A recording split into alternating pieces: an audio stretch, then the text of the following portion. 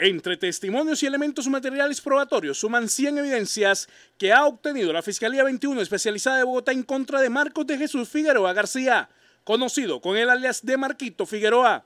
que será presentado en la audiencia de juicio oral ante el juzgado tercero penal del circuito con funciones de conocimiento de Bayupar por dos homicidios y otros delitos presuntamente ocurridos entre el 2012 y el 2014.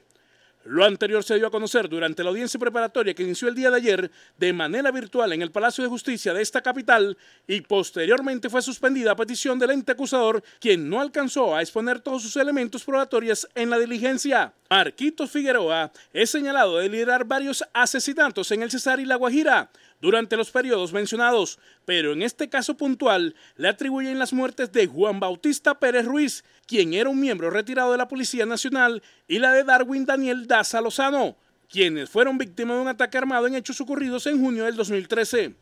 La suspensión de la vista pública obedeció a que varias horas de las pruebas que reposan en el expediente de la Fiscalía, entre ellas varias de las expuestas en la formulación de acusación, no eran conocidas por parte del abogado del supuesto homicida, quien pidió conocerlas de antemano para poder realizar una defensa sólida frente a las acusaciones.